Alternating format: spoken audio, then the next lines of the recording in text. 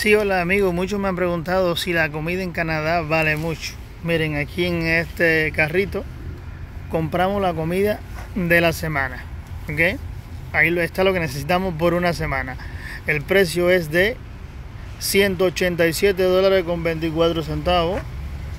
Y lo compramos en este mercado que se llama Super C, uno de los mercados, eh, entre paréntesis, más baratos. Ahí lo dice. Es bueno, bonito y no es caro. Eso es lo que vale la comida en Canadá para la persona que me haya preguntado. O en este caso nosotros estamos en la parte de Montreal, Quebec, que es la parte francesa.